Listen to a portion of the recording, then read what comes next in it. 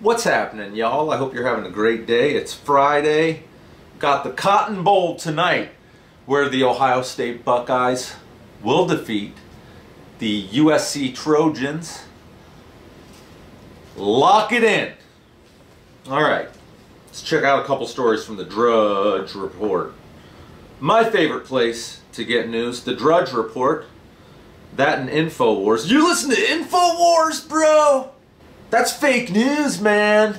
You need to get real news, like from CNN and Stephen Colbert. Alright. Wife accidentally bites off husband's testicle during sex. What the fuck? Wife accidentally bites off husband's testicle during sex. She bit off my man's nut. That is crazy. How do you, first, wait, how do you accidentally bite off a testicle? Wouldn't that like take work? Or, oh, that's a nut. You know. Oh, oh my. Oh, that hurts my nuts just thinking about it. Ah, she bit off a dude's testicle. All right, let's click on this story. I really, I'm going to regret this. I, I know I'm not going to be able to get through the whole story without... The man was holding his severed testicle in a rice bowl when the ambulance arrived. This is not funny at all. Why am I laughing? Why do I think this is funny? Is it, It's not funny. It's kind of funny. The wife repeatedly said, I accidentally bit it off. I don't believe that, according to media reports. The incident occurred in the wee hours of Boxing Day in West Taiwan. Oh, these, these people were from Taiwan. The man, 51, and his wife, 49, reportedly has a mental illness. Wait, the man or the wife? The man, 51, is being treated, and his wife, 49, repeatedly has a mental illness. Um, yeah. Yeah, I'd say if you're biting a dude's nut off, you have a mental illness. I don't. I know that's a, a like a bold statement. Can't go biting off nuts. May, well, it was Taiwan. Maybe she considered it a delicacy.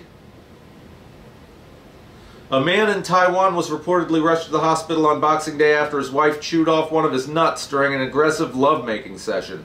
Oh, I, I'd call it aggressive, all right. When paramedics arrived at the couple's home, they apparently saw the 51-year-old man, surnamed Wang. You bit Wang's nut off? Never bite a Wang's nut. Wearing a robe and holding his severed testicle in a rice bowl. uh, this uh, not food, this uh, my testicle. The wife repeatedly explained, I accidentally bit it off. I don't know if Taiwan people talk like that necessarily. That's very stereotypical.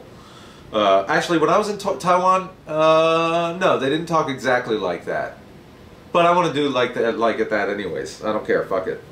I'm not politically correct. If I offend you, hmm, go fuck yourself. So, Taiwan news website Apple Daily reported that the man's right ball had been ripped off by his wife, surnamed Hesaya, 49. All right, that's enough. That's enough. I don't think we need to. The the.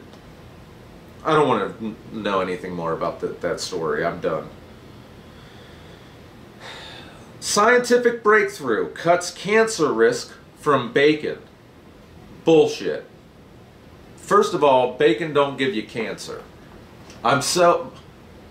My grandma made bacon like four meals a day, literally. She'd wake up in the morning and eat bacon and eggs, have a BLT for lunch, and then for dinner, eat a bacon, bacon, and bacon sandwich. My grandma was a bacon-eating woman she was the Bacon Eating Express. And she uh, lived to be 3,400,947 years old. I'm not exaggerating. That was her real age when she passed. Uh, but no, she lived to be a ripe old age, ate bacon all the time, eggs. See, and this is what I, I, I did a video on this once, but I'm going to reiterate. Um, every four years or so, there's another story. Like, you know, eggs are bad for you. Eggs will kill you. Do not eat eggs. Four years later, eggs are the truth. Eggs are full of vitamins. You need to eat eggs or you will die. The bacon, same thing. Bacon, oh, bacon, oh, bacon's got cancer. Bacon causes cancer. Never mind the shit we pour into your water, uh, the shit we do to your food, spraying your air. Don't worry about all that. It's the bacon you got to keep your eye on. I call bullshit all the way. Uh, bacon.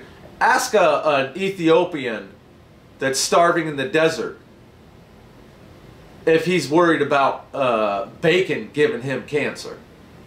He will say, hell no, give me the fucking bacon. So enough, enough of the demonization of bacon. Sick of that shit. So the moral of today's story is, don't bite somebody's testicle off, bite into a delicious slice of bacon.